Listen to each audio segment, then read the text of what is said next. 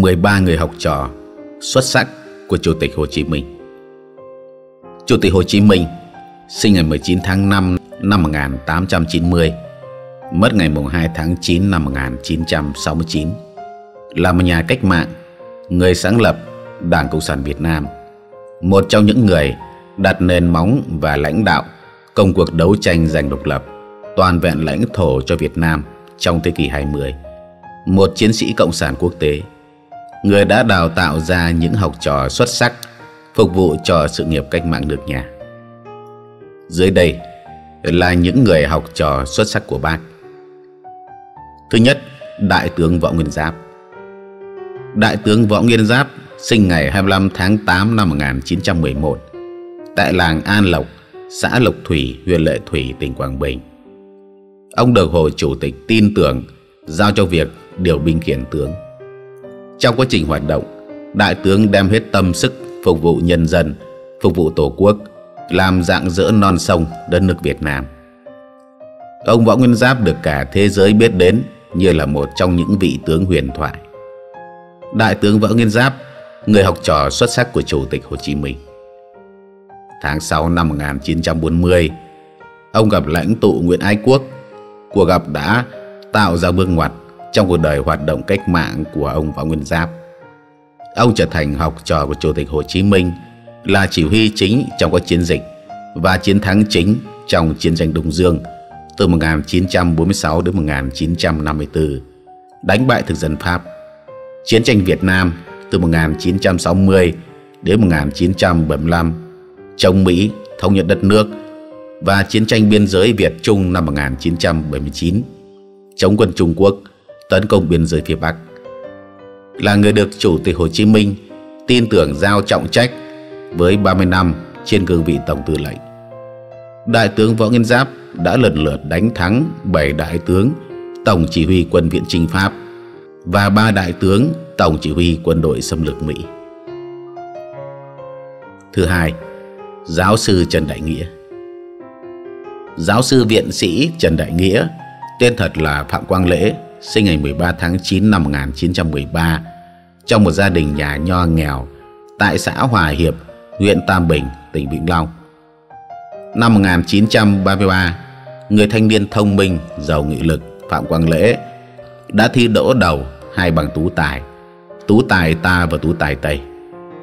Nhưng vì hoàn cảnh nghèo khó nên ông ở lại thành phố Mỹ Tho xin làm thư ký để giúp được mẹ và chị. Trong khoảng thời gian ấy, ông vẫn chăm chỉ tự học thêm luật học. Hai năm sau, 1935, được nhà báo Vương Quang Ngâu, người giúp ông nhận được học bổng trường Chesolov Lao Bát trong một năm. Tháng 9 năm 1935, ông lên tàu thủy đi Pháp du học. Nhờ sự cần cù mà ông đã nhận được tới ba bằng đại học một lúc. Từ năm 1963, người thanh niên này đã biết tới tên tuổi của Nguyễn Ái Quốc. Kể từ đó tư tưởng yêu nước của Nguyễn Ái Quốc đã định hướng về mặt chính trị cho người thanh niên Phạm Quang Lễ. Ông đã làm việc cả Pháp và Đức, nhưng đến ngày 8 tháng 9 năm 1946, bác Hồ gọi Phạm Quang Lễ đến, cho biết là hội nghị Phong Fontainebleau đã không thành, rồi bác đề nghị bác về nước, chú về với bác. Ông đã cùng Chủ tịch Hồ Chí Minh trở về nước. Ngày 5 tháng 12 năm 1946, Chủ tịch Hồ Chí Minh cho mời kỹ sư Phạm Quang Lễ đến Bắc Bộ Phủ. Tại đây người đã trực tiếp ra cho ông làm Cục trưởng Cục Quân giới và đặt tên mới cho ông là Trần Đại Nghĩa. Từ những năm 1950 cho đến cuối đời, nhà khoa học Trần Đại Nghĩa được Đảng và Nhà nước tin tưởng và giao nhiều trọng trách quan trọng. Cục trưởng Cục Quân giới, Cục trưởng Cục Pháo binh, Phó chủ nhiệm Tổng cục Hậu cần, rồi Phó chủ nhiệm Tổng cục Kỹ thuật Bộ Quốc phòng. Năm 1996, ông Vinh dự được nhà nước trao tặng Giải thưởng Hồ Chí Minh về công trình nghiên cứu chế tạo bazooka súng không giật. Ông mất vào 16 giờ 20 phút ngày 9 tháng 8 năm 1997, hưởng thọ 84 tuổi. Hiện nay có những con đường trường học hay con tàu mang tên ông.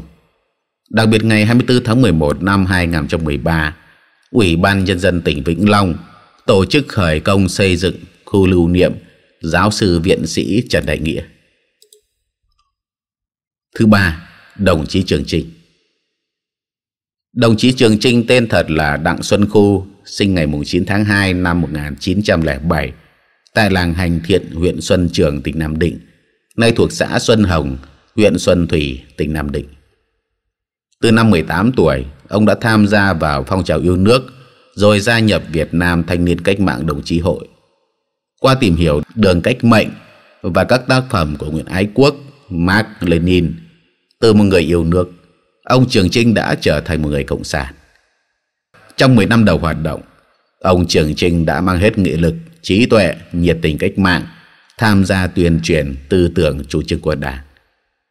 Tại hội nghị lần thứ 7 của Trung ương Đảng năm 1940, ông được cử vào Ban chấp hành Trung ương. Tại hội nghị Trung ương lần thứ 8 năm 1941, được bầu chính thức là Tổng bí thư của Đảng. Trước những khó khăn mà Đảng ta đang gặp phải, đồng chí cùng Trung ương Đảng đã có những quyết định quan trọng đưa cách mạng tiến lên với những bước nhảy vọt. Mà đỉnh điểm là dự báo việc Nhật Pháp đánh nhau và chỉ thị thường vụ Trung ương Đảng ra chỉ thị Nhật Pháp đánh nhau và hành động của chúng ta. Cùng với lời kêu gọi của Nguyễn Ái Quốc mà chỉ trong thời gian ngắn cách mạng tháng 8 đã thành công.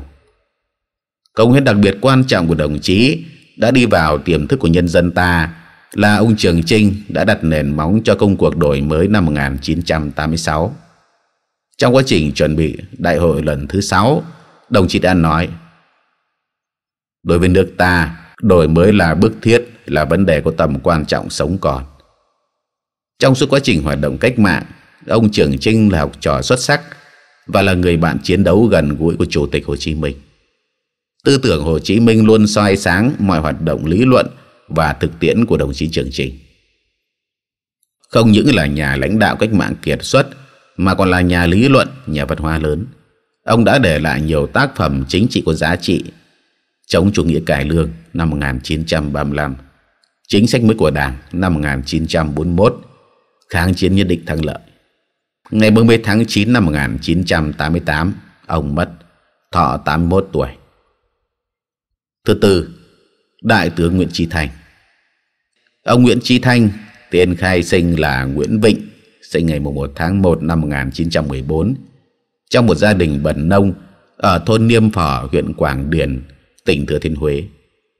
Năm 1934, ông tham gia cách mạng trong phong trào Mặt trận Bình dân.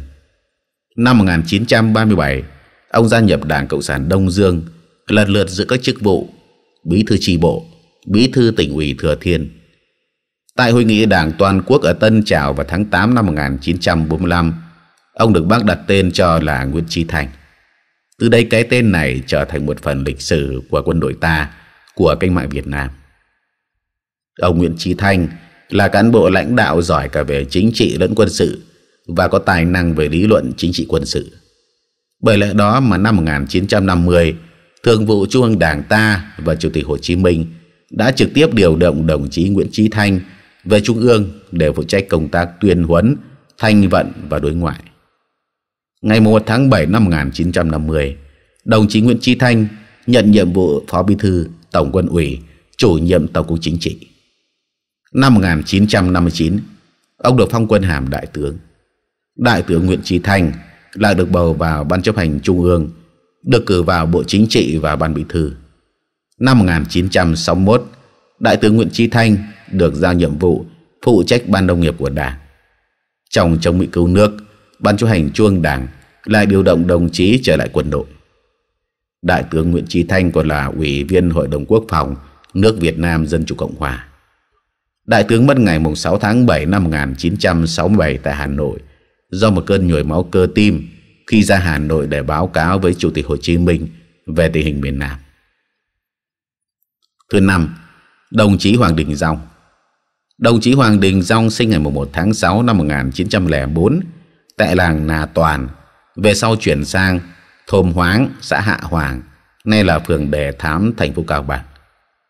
Những năm 1925-1926, Hoàng Đình Dòng theo học trường Bách Nghệ ở Hà Nội.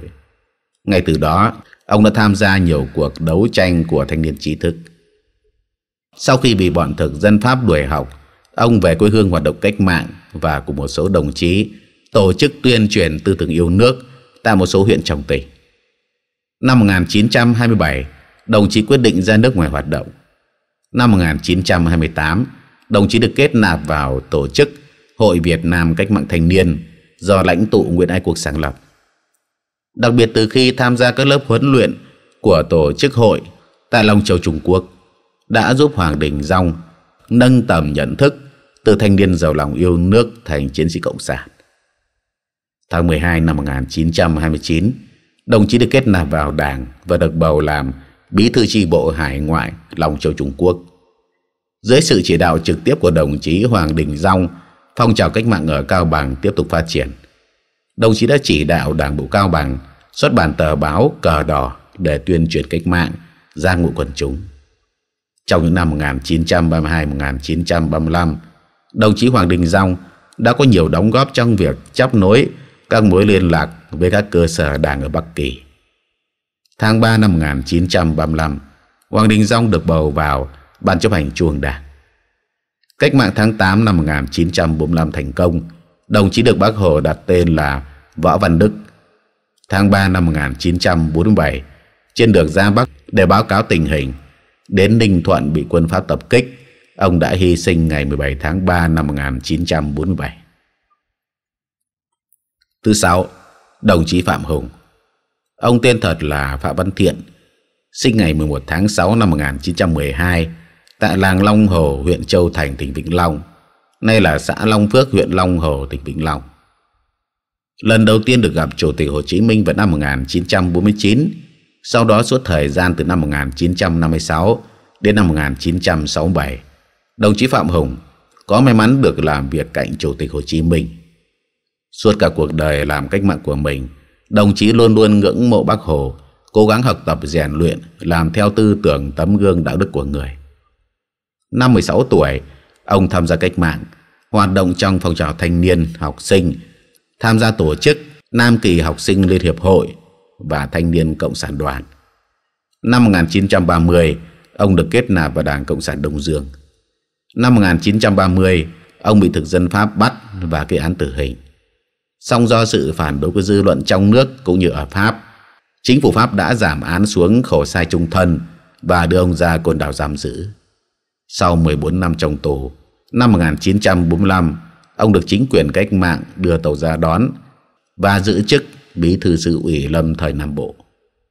Tại đại hội lần thứ hai của Đảng Cộng sản Việt Nam họp năm 1951, ông được bầu vào Ban chấp hành Trung ương và công tác ở Trung ương Cục miền Nam và Ủy ban kháng chiến hành chính miền Đông Nam Bộ. Năm 1956, ông vào Bộ Chính trị. Ông cũng là bí thư Trung ương Đảng trong các năm 1958-1960. Từ năm 1955 đến năm 1958, ông được cử làm Bộ trưởng Phủ Thủ tướng.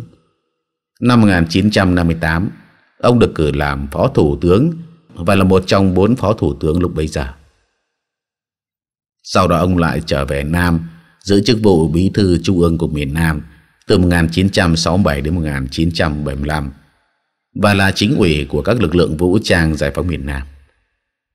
Trong chiến dịch Hồ Chí Minh, ông làm chính ủy Bộ Chỉ huy Chiến dịch. Sau khi Việt Nam thống nhất năm 1976, ông được giữ chức vụ Phó Thủ tướng. Từ năm 1981, đổi thành Phó Chủ tịch Hội đồng Bộ trưởng. Ông cũng kiêm chức Bộ trưởng Bộ Nội vụ, nay là Bộ Công an, thay cho Trần Quốc Hoàn từ năm 1981.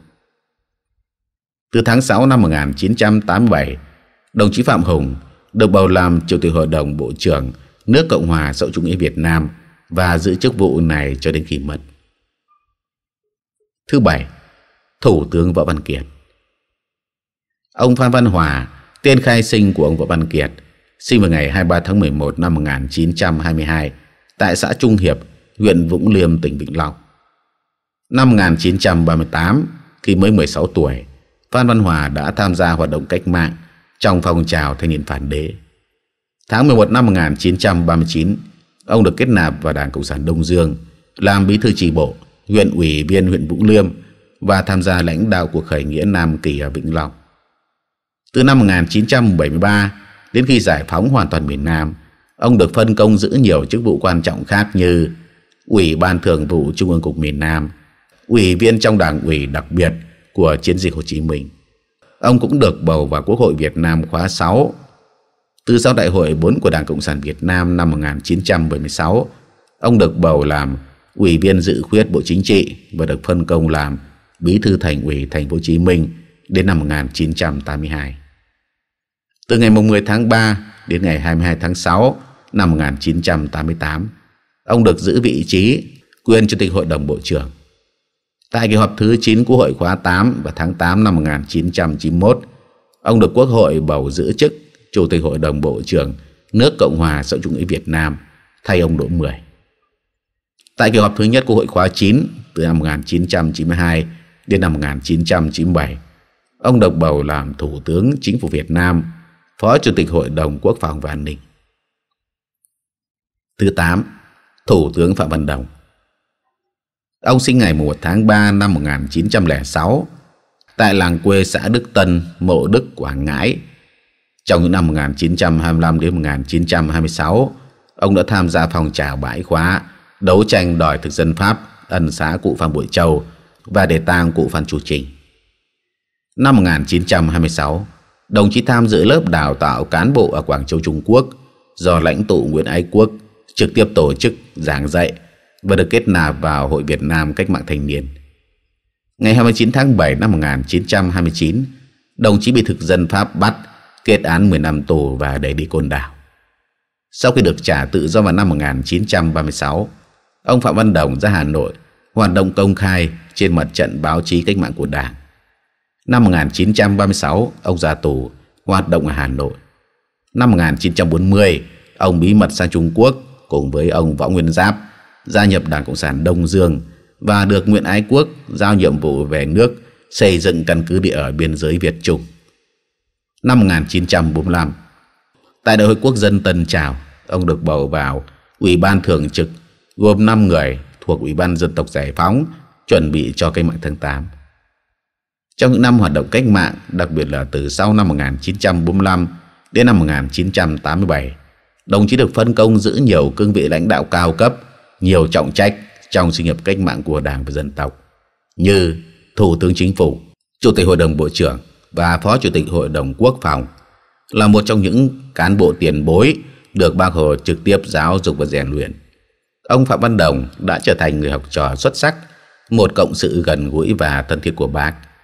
Đồng chí đã thể hiện những phẩm chất cao quý của một người cộng sản, trung kiên, mẫu mực.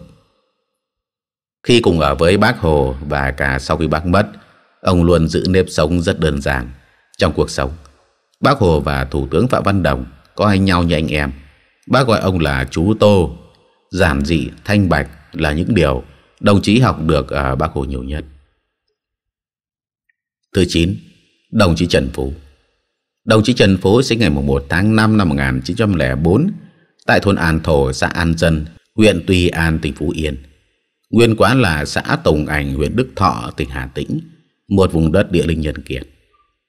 Năm 1925, ông cùng một số bạn bè trẻ tuổi như Lê Văn Huân, Trần Đình Thanh, Ngô Đức Diễn, Tôn Quang Việt thành lập Hội Phục Việt, sau đổi là Hội Hưng Nam, rồi lại đổi ra Việt Nam Cách mạng Đảng.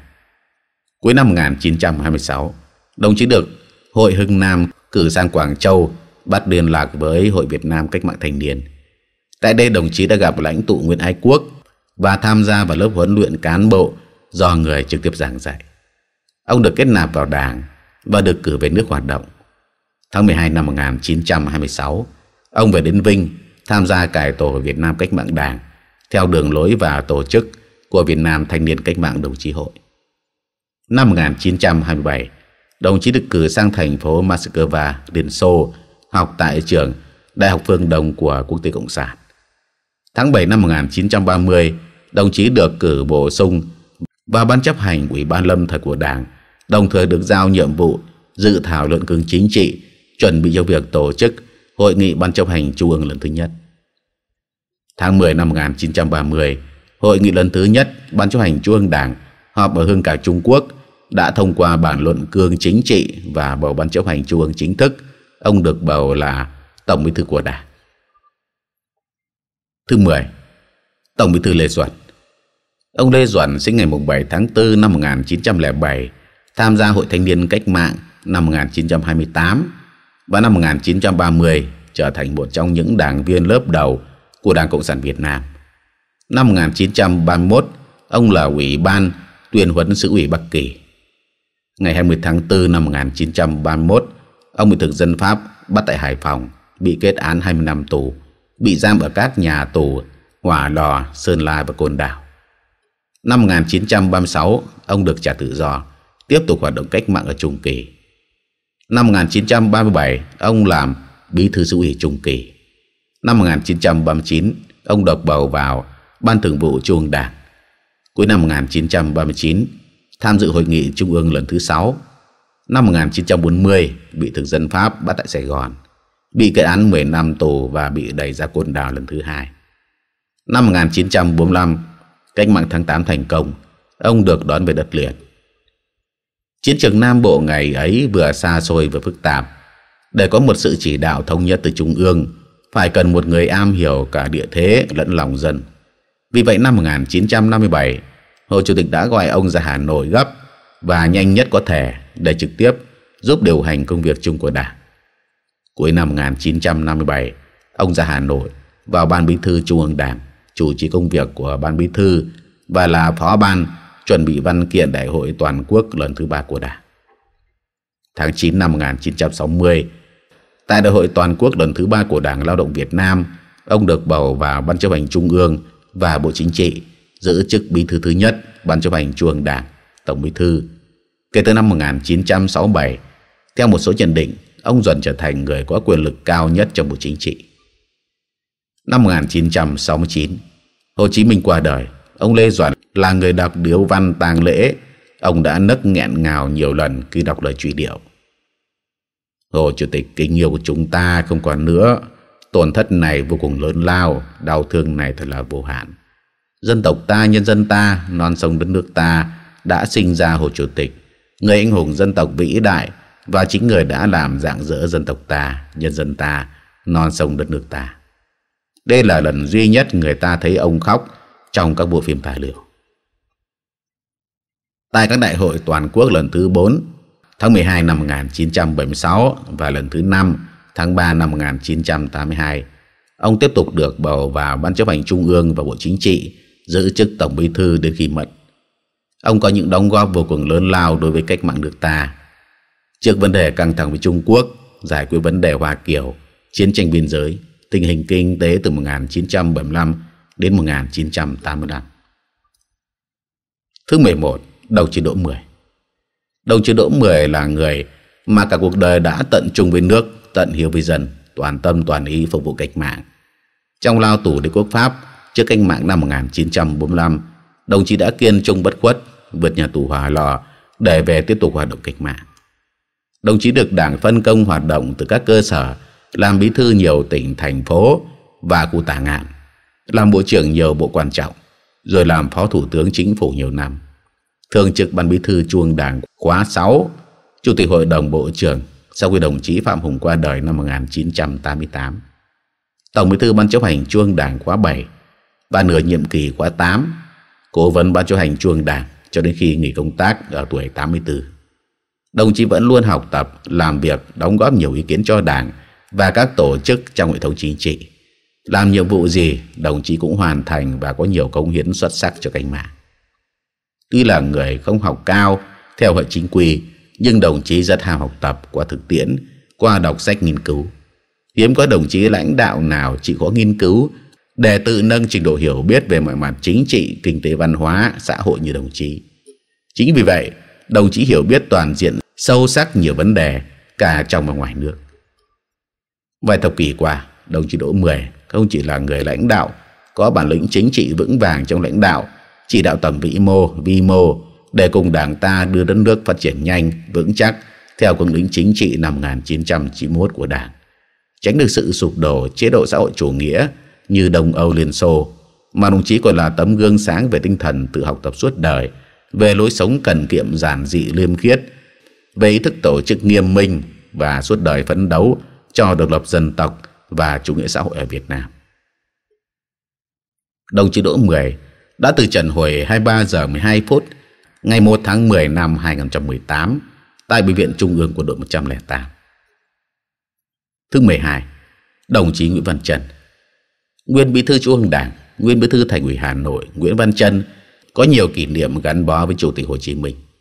Suốt đời học tập và làm theo tấm gương đạo đức Hồ Chí Minh, đồng chí đã trở thành chiến sĩ cộng sản kiên trung bất khuất, nhà lãnh đạo xuất sắc của Đảng, một học trò ưu tú của người. Cách mạng tháng 8 năm 1945 thành công, Bác Hồ trở về Hà Nội, lo tổ chức chính quyền và chuẩn bị bầu quốc hội. Chính phủ được thành lập, nhưng mâu thuẫn giữa Việt Minh với Quốc dân Đảng và Cách mạng Đồng minh hội. Hai tổ chức đi theo quân tưởng về Việt Nam năm 1945 tại một số địa phương là vấn đề cần giải quyết. Người chủ trương lập Ủy ban điều giải để tới các địa phương dàn xếp. Ủy ban gồm ba thành viên, một đại biểu chính phủ, một đại biểu quốc dân đảng và một đại biểu Việt Minh. Đồng chí Nguyễn Văn Trân là đại biểu Việt Minh. Khi giao nhiệm vụ cho đồng chí, Bác Hồ Cần dặn. Tình thế lúc này khó khăn, quân đội tưởng có âm mưu diệt cộng sản, phá bỏ chính quyền cách mạng để lập ra một chính quyền tay sai của chúng. Thế giặc còn mạnh, ta phải tạm thời hòa hoãn. Vấn đề cốt yếu là tổ chức lực lượng quần chúng cách mạng vững chắc. Đến nơi nào giàn xếp phải chú ý tác động vào những người bị chúng lừa dối hoặc ép buộc phải theo chúng. Phải khéo léo động viên, thức tỉnh lòng yêu nước chống ngoại xâm của họ. Cần phải thuyết phục cán bộ ta, lúc này hòa hoãn là cần thiết. Thực hiện chỉ đạo của bác Hồ, đồng chí Nguyễn Văn Trân và Ủy ban điều giải đã đến nhiều địa phương như Bắc Giang, Phú Thọ, Yên Bái, Lào Cai, thuyết phục được lực lượng vũ trang của quốc dân đảng tình nguyện lên đường Nam tiến để cùng miền Nam chống Pháp. Không chỉ gắn bó sâu sắc, có nhiều kỷ niệm với bác Hồ. Nhìn lại hơn 100 năm tuổi đời, hơn 80 năm tuổi đảng, đồng chí Nguyễn Văn Trân đã dành chọn cuộc đời để học tập và làm theo tấm gương đạo đức Hồ Chí Minh, trở thành một hình mẫu của người cộng sản kiên trung, nhà lãnh đạo ưu tú của đảng, có đạo đức cách mạng sáng ngời. Trong hơn 80 năm hoạt động cách mạng, đảm nhiệm nhiều vai trò vị trí, nhưng cương vị nào, đồng chí Nguyễn Văn Trân cũng nêu cao tấm gương đạo đức trong sáng, cần kiệm liêm chính, trí công vô tư, thực hành tác phong làm việc khoa học, dân chủ, sâu sát cơ sở, gần gũi nhân dân, luôn được cán bộ, quân và dân yêu quý kính trọng. Những năm gần đây dù tuổi cao, đồng chí vẫn nỗ lực đóng góp vì sự phát triển của thủ đô và đất nước, miệt mài nghiên cứu và gửi gắm nhiều ý kiến xác đáng cho thành phố, xây dựng các chủ trương quyết sách quan trọng. Đồng chí Nguyễn Văn Trân đã ra đi, nhưng tấm gương đạo đức và những cống hiến của đồng chí mãi mãi được ghi nhận, in đậm trong những trang lịch sử hào hùng của thủ đô và đất nước. Thứ 13. Tổng Bí thư Nguyễn Phú Trọng Tổng Bí thư Nguyễn Phú Trọng sinh ngày 14 tháng 4 năm 1944, mất ngày 19 tháng 7 năm 2024. Từng đảm nhiệm chức vụ Ủy viên Bộ Chính trị, Tổng Bí thư Ban chấp hành Trung Đảng Cộng sản Việt Nam từ ngày 19 tháng 1 năm 2011 cho đến khi qua đời vào ngày 19 tháng 7 năm 2024. Ông gia nhập Đảng Cộng sản Việt Nam vào năm 1967, sau đó ông gia nhập Ủy ban Trung ương của Đảng vào năm 1994, Ủy viên Ban chấp hành Trung ương Đảng các khóa 7, 8, 9, 10, 11, 12. Bộ Chính trị năm 1997, Ủy viên Bộ Chính trị các khóa 8, 9, 10, 11, 12. Tham gia thường trực Bộ Chính trị khóa 8 và Quốc hội vào năm 2002 đại biểu Quốc hội các khóa 11, 12, 13 và 14. Từ năm 2000 đến năm 2006, ông là bí thư thành ủy Hà Nội. Kể từ tháng 1 năm 2011 đến nay, ông giữ chức Tổng bí thư Ban chấp hành Trung Đảng khóa 11, 12, bí thư quân ủy Trung ương.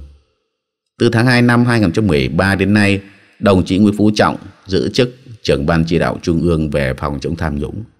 Đây cũng là cương vị ông dành gần nửa đời người để công hiến cho sự nghiệp cao đẹp nhất, sự nghiệp xây dựng Tổ quốc. Song song với đó, từ tháng 8 năm 2016 đến nay, đồng chí tham gia Ban Thường vụ Đảng ủy Công an Trung ương nhiệm kỳ 2015-2020. Đặc biệt tháng 10 năm 2018, tại kỳ họp thứ 6 Quốc hội khóa 14, ông được bầu giữ chức Chủ tịch nước Cộng hòa xã chủ nghĩa Việt Nam nhiệm kỳ 2016-2021. Suốt cuộc đời hoạt động chính trị của mình, cố Tổng Bí Thư đã nhận được sự yêu mến của toàn thể đồng bào Việt Nam. Nhiều giải thưởng cao quý, được khen thưởng cả cấp như Huy chương kháng chiến chống Mỹ hạng nhất, Huy chương vì sự nghiệp văn hóa, Huy chương vì sự nghiệp báo chí, Huy chương vì sự nghiệp các thế hệ trẻ, kỷ niệm trường vì sự nghiệp tạp chí lý luận của Đảng. Gần nhất, sáng ngày 18 tháng 7 năm 2024, Bộ Chính trị quyết định trao huân chương sao vàng tặng Tổng Bí thư Nguyễn Phú Trọng vì có nhiều công lao to lớn, đặc biệt xuất sắc cho sự nghiệp cách mạng của Đảng, của dân tộc.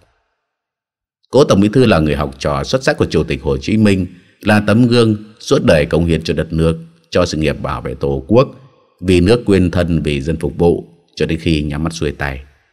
Ông từng rằng, nếu là hoa hãy là hoa hướng dương, nếu là đá hãy là đá kim cương, nếu là chim hãy là bồ câu trắng, là người hãy là người cộng sản.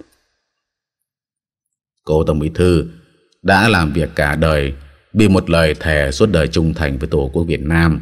Sự giản dị của ông thực sự đã truyền cảm hứng cho rất nhiều người Việt yêu nước, đặc biệt là các thế hệ trẻ hiện nay.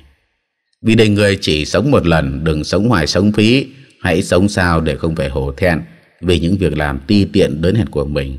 Để khi nhắm mắt xuôi tay, ta tự hào rằng đã cống hiến cả cuộc đời cho sự nghiệp của đất nước. Tổng bí thư Nguyễn Phú Trọng là tấm gương nhiệt huyết xây dựng đảng, trong sạch vững mạnh đất nước phát triển phồn vinh. Nhân dân ta ai cũng có cuộc sống ấm no hạnh phúc. Gần 15 năm của ba nhiệm kỳ là người lãnh đạo cao nhất của đảng, nhà nước. Tổng bí thư Nguyễn Phú Trọng cùng tập thể lãnh đạo, chủ chức của đảng, ban chấp hành chuông đảng, tập hợp giữ một ngọn cờ lãnh đạo toàn đảng toàn dân vượt qua mọi khó khăn thử thách để đất nước có được cơ đồ tiềm lực vị thế và uy tín trên trường quốc tế như hôm nay. Lời dặn của Tổng Bí Thư cho thế hệ sau Danh dự mới là điều thiêng liêng Cao quý nhất. Trên đây là 13 học trò xuất sắc của Chủ tịch Hồ Chí Minh vĩ đại Những người con đáng quý của dân tộc Những con người góp công sức cho sự nghiệp cách mạng nước nhà thành công. Duy Lý đánh giá bác Trọng là người đặc biệt nhất. Dù trong thời buổi hiện nay Nhưng bác sống rất giản dị, thanh liêm Chuẩn mực là người cộng sản chân chính. Đặc biệt là công cuộc đốt lò vĩ đại của bác được toàn thể nhân dân hoan nghênh phấn khởi. Đám tang của bác là một minh chứng rõ nét bác được nhân dân kính trọng đến giường nào. Ngày đưa tiễn bác, hàng ngàn người dân đứng hai bên đường hô vang bác trọng buồn nằm. Triệu triệu người thể hiện lòng kính trọng tiếc thương một người lãnh đạo tài đức vẹn toàn. Quý vị đánh giá như thế nào? Bổ sung thêm người nào xứng đáng vào danh sách này? Quý vị hãy ghi bình luận ở phần bên dưới video này nhé. Quý vị đừng quên chia sẻ video và đăng ký kênh giúp cho Duy Ly. Còn bây giờ, xin kính chào và hẹn gặp lại quý vị ở những video tiếp theo.